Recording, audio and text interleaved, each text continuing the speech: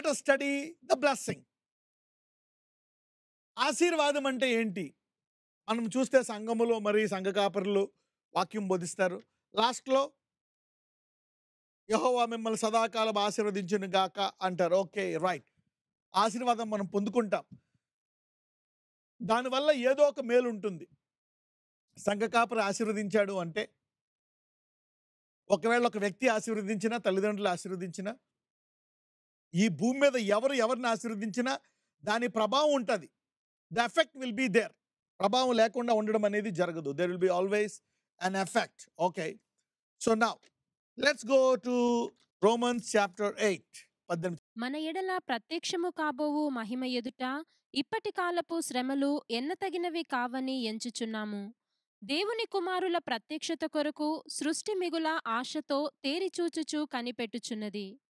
ఏలయనగా సృష్టి నాశనమునకు లోనైన దాస్యములో నుండి విడిపింపబడి దేవుని పిల్లలు పొందబోవు మహిమగల స్వాతంత్ర్యము పొందుదునను నిరీక్షణ కలదై స్వేచ్ఛగా కాక దానిని లోపరిచిన వాని మూలముగా వ్యర్థపరచబడెను. సృష్టి యావత్తు ఇదివరకు ఏకగ్రీవముగా మూలుగుచు ప్రసవ వేదన పడుచున్నదని ఎరుగుదుము. అంతేకాదు ఆత్మ యొక్క ప్రథమ ఫలముల నొందిన మనము కూడా దత్తపుత్రత్వము కొరకు అనగా మన దేహము యొక్క విమోచనము కొరకు కనిపెట్టుచు మనలో మనము మూలుగుచున్నాము. ఏలయనగా మనము నిరీక్షణ కలిగిన వారమై రక్షింపబడితిమి. నిరీక్షింపబడునది కనబడునప్పుడు నిరీక్షణతో పనియుండదు. తాను చూచుచున్న దాని కొరకు ఎవడు నిరీక్షించును? మనము చూడని దాని కొరకు నిరీక్షించిన ఎడల ఓపికతో దాని కొరకు కనిపెట్టుదుము. కంటిన్యూ. అటువలే ఆత్మయు మన బలహీనతను చూచి సహాయము చేయుచున్నాడు. ఏలయనగా మనము యుక్తముగా ఎలాగో ప్రార్థన చేయవలెనో మనకు తెలియదు గాని ఉచ్చరింప శక్యము కాని మూలుగులతో మరియు హృదయములను పరిశోధించువాడు ఆత్మ యొక్క మనస్సు ఏదో ఎరుగును. ఏలయనగా ఆయన దేవుని చిత్త ప్రకారము పరిశుద్ధుల కొరకు విజ్ఞాపనము చేయుచున్నాడు. దేవుని చిత్త ప్రకారం అంటే మనిషికి ఎలా ప్రార్థన చేయాలో తెలియక ఈ ఆత్మే దేవుని చిత్త ప్రకారం ప్రార్థిస్తుందంట. మరి మనమేమో ఆశీర్వాదం కోసం ప్రార్థించాల. మనం ఏం చేస్తామంటే ఆశీర్వాదం కోసం కాకుండా ప్రత్యేకంగా ఓకే ఆ చదువు ఆ ఉద్యోగం ఆ స్వస్థత ఆ ఇల్లు ఆ అప్పు ఆ బ్యాంక్ ఇలాగ ఒక్కొక్క ఐటమ్ ఐటమ్ ఐటమ్ కొరకు దాన్ని ఐటమ్లుగా చేసేసి ఏ ఐటమ్ సివియర్ అయిపోతుందో ఐటమ్ కొరకు ప్రేర్ చేస్తాం. ఏది సివియర్గా లేదో దాన్ని పెండింగ్లో పెడతాం. ఓకే? ఈ రకంగా మనకి మనకి ప్రయారిటీలు ఉంటాయి. This is how the priorities are going on అయితే ఇది కొంతవరకు ప్రార్థన మీరు చేస్తున్నారు కాబట్టి మీ భారం ఆయన మీద వేస్తున్నారు కాబట్టి కొంతవరకు కరెక్టే. But God wants us to know has his will దేవుడు తన చిత్తాన్ని తెలుసుకోవాలని చూస్తున్నాడు. అందుకే చూడండి. ఇక్కడ వేరుతో సహా మనకు చెప్తున్నాడు. Let study this one more time Romans eight eighteen మన ఎడల ప్రత్యక్షపు కాబోవు మహిమ ఎదుట ఇప్పటి కాలపు శ్రమలు ఎన్నదగిన కావని ఎంచుకొనుచున్నాను. చూడండి. For I reckon that the sufferings of this present time are not worthy to be compared with the glory which shall be revealed in us ఎంతమంది మహిమ నుంచి అధిక మహిమకు సంపూర్ణమైన దేవుని చిత్తంలోకి వెళ్దాం అనుకుంటున్నారు? Yes you need go to the will of God this is the will of God. చూడండి తల్లికి మరి చిన్నపిల్లోడికి రెండు రెండు గంటలకి పాలిస్తూ ఉంటుంది. సరే అది దేవుడు ఇస్తాడు అది ఆయన ఇష్టం. తర్వాత వాళ్ళు చిన్నపిల్లలు అవుతారు కొంచెం ఎదుగుతారు. తల్లికి ఏంటంటే వాడు పెద్దోడయ్యి బాగా చదువుకొని. అవునా? వాడి కాళ్ళ మీద వాడు నిలబడి ప్రయోజకుడైతే ఆ తల్లికి ఆనందం. అలాగే God wants his will you know to come to pass on people's lifes. నా లెట్ అస్ సి అంటే నువ్వేం ప్రేయర్ చేయాలి? ఏదైనా సమస్య ఉందనుకోండి. Lord what glory are you bringing out of అయ్యా ఈ శ్రమలోంచి ఏం మహిమ తీయబోతున్నావు అని ప్రార్థన చేస్తే అది చాలా విశ్వాసముతో కూడినటువంటి ప్రార్థన. దేవుని ఎరిగినటువంటి ప్రార్థన. This is something which is prayed by a matured believer let us study step by step on this area Abraham లాగా ఇస్సాక్ లాగా యాకోబు లాగా యోసేపు లాగా వారి నిమిత్తం ఆశీర్వదింపబడితే ఎలాగుంటుంది? చూడండి. ఉపదేదం ఆశీర్వాదం అని చెప్పాను. అతని ఇంట్లో మందసం ఉన్నందుకు ఎన్నెళ్ళు ఆశీర్వదించబడతాడు? మూడు నెలల్లో తను తనకు కలిగినదంతా ఆశీర్వదించబడిపోతానంట మెయిన్ వాట్ ఇస్ దాట్? మరి ఇప్పుడు దేవుని సన్నిధి మనలో ఉంది కాబట్టి మనము దాన్ని మర్చిపోయి వాళ్ళు ఇలా చేశారు వీళ్ళు ఇలా చేశారు అది ఎలా జరిగింది ఇది పోయింది ఇది ప్రాబ్లం ఆ problem okay this is good. That నీ భారం అంతా ఆయన మీద అన్నాడు. వేయడం మంచిదే వేయాల కానీ జీవితాంతం అదే వేస్తే ఎలాగా?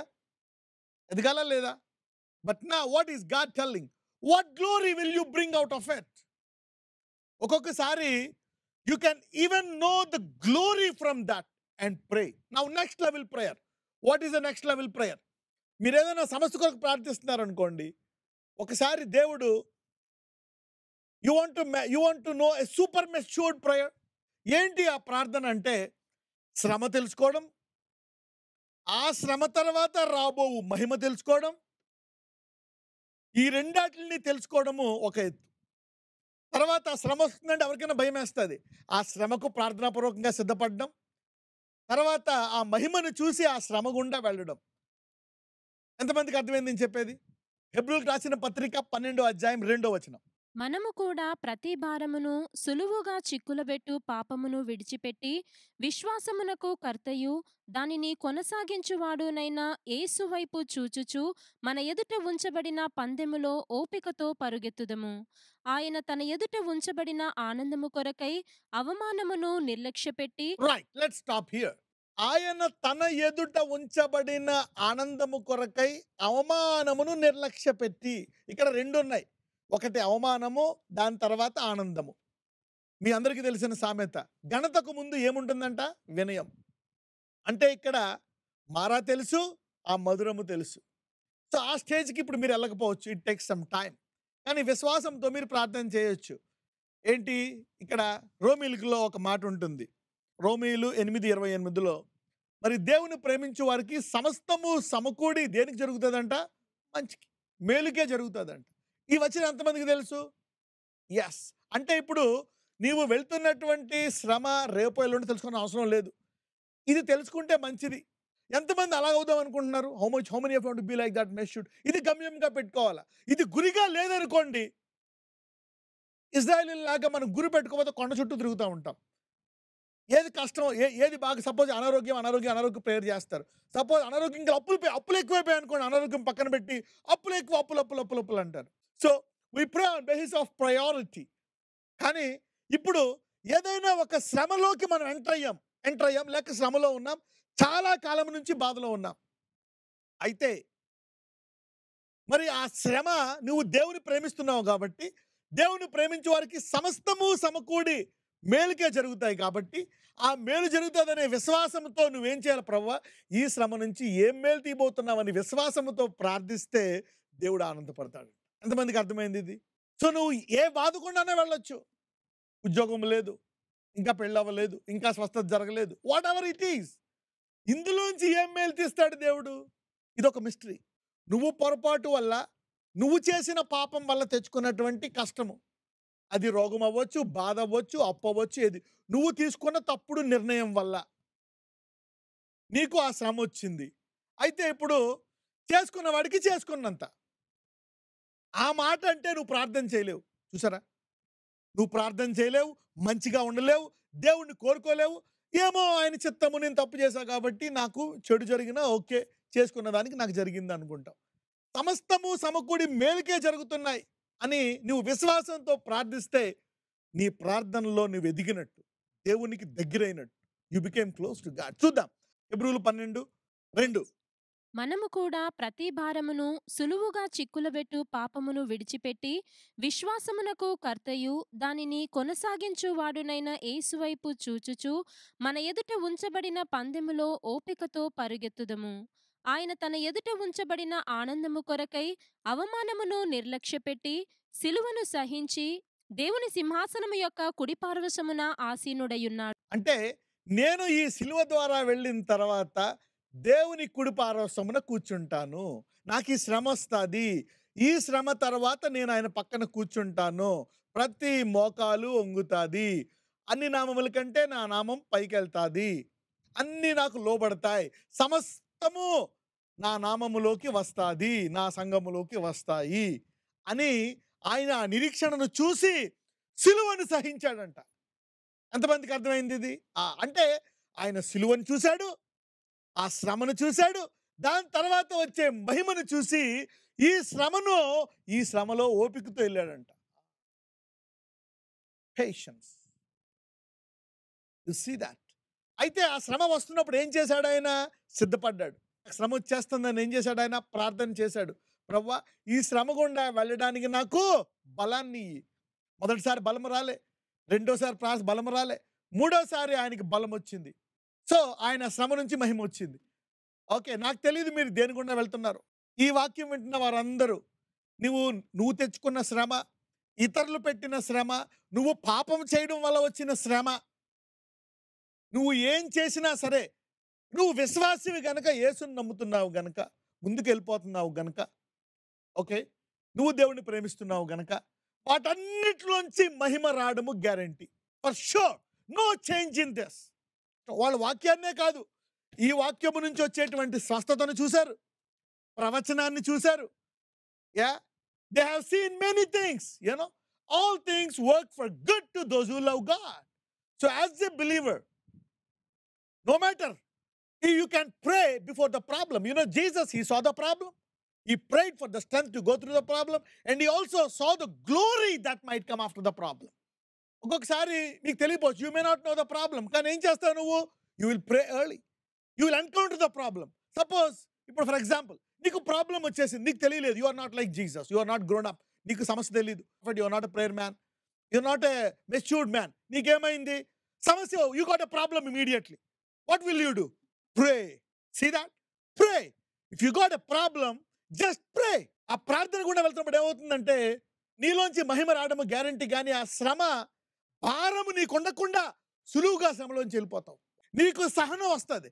If you pray with when the problem సమస్య ఎక్కడ when you when there is a problem and you pray you know you will easily pass through the problem ఎంతమందికి అర్థం how if you understood that when you have a problem financial problem job health problem let us go back to Romans chapter eight verse eighteen మన ఎడల ప్రత్యక్షము కాబోవు మహిమ ఎదుట ఇప్పటి కాలపు శ్రమలు ఎన్నతగినవి కావని ఎంచుచున్నాము.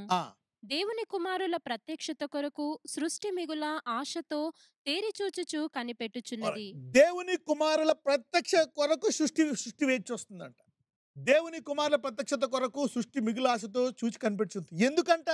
ఎందుకు? ఎందుకు సృష్టి చూస్తుంది? ఒకవేళ దేవుని కుమారులో ఆశీర్వాదాన్ని చూస్తే ఎందుకంటే ఈ సృష్టి ఏం విడుదల చేస్తుంది? The creation the earnest expectation of the creature waited for the manifestation of the sons of God the earnest expectation of the creature waited for the manifestation అంటే మేనిఫెస్టేషన్ అంటే ఏంటి? What is manifest I will tell you now సృష్టి చూస్తుందంట. ఏమని? ఈ సృష్టి మరి మహిమకరంగా ఉండాలంట. మరి సృష్టి మహిమను విడుదల చేయకుండా సృష్టి అంటే ఇక్కడ తుఫాను విడుదల చేసింది. ఎండను విడుదల చేస్తుంది. ఈ సృష్టి మరి భయంకరమైనటువంటి ఆ చలిని విడుదల చేస్తుంది. ఈ సృష్టి. అయితే ఎప్పుడైతే ఈ మనిషిలో ఆశీర్వాదం ఉందో ఈ సృష్టి అతనికి కావలసినటువంటి చక్కటి వాతావరణాన్ని విడుదల చేస్తుందండి. ఇసాకు విత్తినప్పుడు ఆ స్థలంలో అంతా కూడా తెగులు.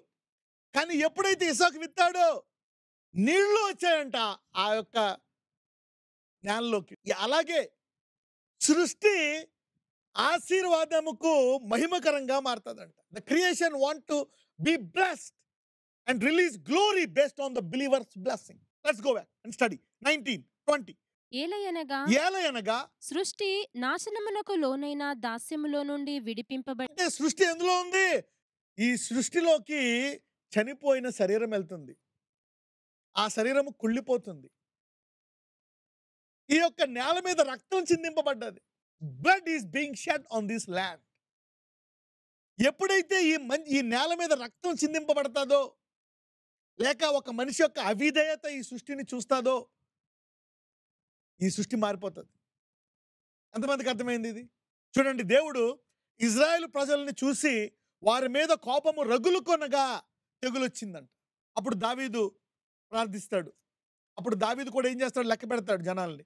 దేవునికి కోపం వచ్చి ప్రజల మీద దేవునికి కోపం వచ్చి మరి వాళ్ళ అవిధేయత వలన తెగులు వస్తుందంట చూసారు? అంటే మ్యాన్స్ మనిషి యొక్క పొరపాటు.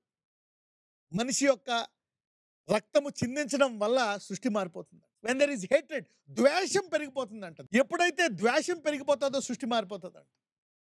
When there is hatred selfishness స్వార్థము ద్వేషము ఎప్పుడైతే ఇలాంటివి పెరిగిపోతూ ఉంటాయో రక్తం పెరిగిపోతూ ఉంటుందో అక్కడ తుఫాన్లు తెగుళ్ళు ఉష్ణోగ్రత మరణాలు ఇలాంటివన్నీ వస్తూ ఉంటాయి. అంతమందికి అర్థమైంది? ఇది సృష్టికి ఇష్టం లేదంట. సృష్టి మహిమకరంగా ఉండాలనుకుంటుందంట సృష్టి. అంటే ఎంత వాన రావాలో అంత వాన. ఎంత ఎండ ఎంత ఎండ. ఎంత చలి అంత చలి. So this is what is the creation doing. అంటే ఇప్పుడు ప్రస్తుతము సృష్టి దాస్యమునకు లోనైందంట. దేనికి లోనైంది? దాస్యమునకు. చదవండి. ఏలయనగా సృష్టి నాశనమునకు లోనైన దాస్యములో నుండి విడిపింపబడి దేవుని పిల్లలు పొందబోవు మహిమగల స్వాతంత్ర్యము పొందుదునను నిరీక్షణ కలదై అగండి దేవుని పిల్లలు పొందబోవు మహిమగల స్వాతంత్రం పొందుదునని నిరీక్షణ కలదై ఆ స్వేచ్ఛగా కాక దానిని లోపరిచిన వాని మూలముగా వ్యర్థపరచబడెను right, let's read in English for more clarity. Let's go to 19. For the earnest expectation of the creation waited for the manifestation of the sons of God అంటే దేవుని కుమార్ ప్రదర్శన సృష్టి eight twenty. For the creature was made subject to vanity సృష్టి వ్యర్థపరచబడ్డదంట. ఎప్పుడు వ్యర్థపరచబడ్డది సృష్టి? When was the creature made subject to vanity van ఎప్పుడు ఈ సృష్టి ఈ సృష్టిలోంచి తుఫాన్ రావడం మొదలైంది? ఎప్పుడు ఈ సృష్టి ముళ్ళపొదలు when did the creation started giving thorns heat cold to kill you, heat to kill you, barrenness to kill you. Why did the creation become like that? Yenduku, by reason of him that subjected, you know, the same in hope. and ఎవరు దీన్ని ఎలా చేశారు? దీన్ని ఎవరు ఎలా చేశారు? Who did it చూడండి ఆది కాండం మూడు పదిహేడు. ఆయన ఆదాముతో నీవు నీ భార్య మాట విని తినవద్దని నేను నీకు ఆజ్ఞాపించిన వృక్షఫలములు తింటివి గనుక నీ నిమిత్తము నేల శపింపబడి ఉన్నది. that. Now the creation was subjected to vanity. ఎక్కడ? రోమీలు ఎనిమిది ఇరవై. దాస్యమునకు లోనైందండి ఇక్కడ. ఎంతమందికి అర్థమైంది? కనెక్షన్ అవును if understood that so creation was subjected to vanity ఇప్పుడు మనిషికి హాయిగా ఆదాము ఎప్పుడు పడితే అప్పుడు ఆహారం తినేవాడు. సృష్టి అదంటే అదే ఇచ్చేది. చక్కగా.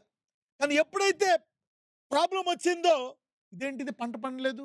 ముళ్ళు వచ్చాయి ఇదేంటిది పంట కొట్టుకుపోయింది? ఇదేంటి తుఫాన్ వచ్చి ఎండిపోయింది? ప్రాబ్లం ఎంతమందికి అర్థమైంది? Let's read.